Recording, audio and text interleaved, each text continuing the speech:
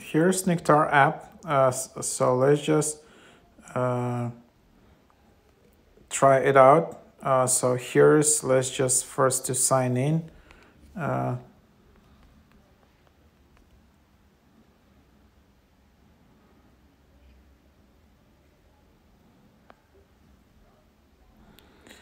and then you just can go and create your account here um,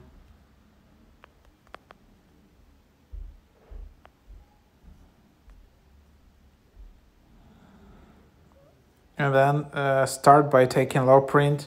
Your Loveprint is approximation of where you are now and your approach to forming relationships. This assessment helps you get an idea of how you low and what a relationship could look like for you. So then you just set it up like a value sharing feelings with others as they arise. So for example um,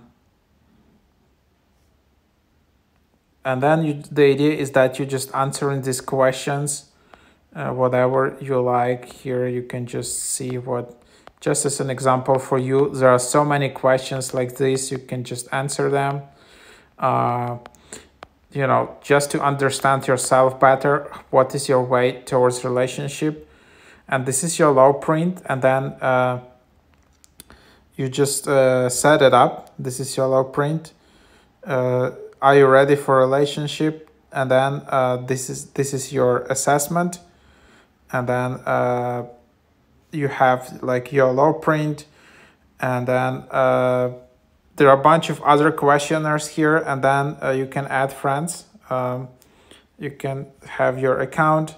Um, if you want, you if you want, you can just delete it.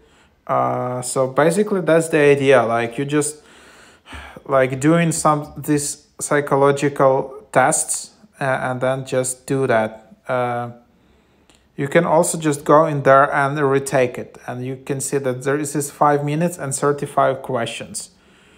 Uh, so that's what it is. Uh, and then, uh, yeah, you just have it there and you understand yourself much better. And then you have like boundaries, family attachment, monogamy, relationship, belief, sex, social temperature, all of this. And then you just figure out yourself and you understand yourself much more with this app. So that's the idea. Uh, like super interesting app just to, you know, try yourself out and understand yourself better.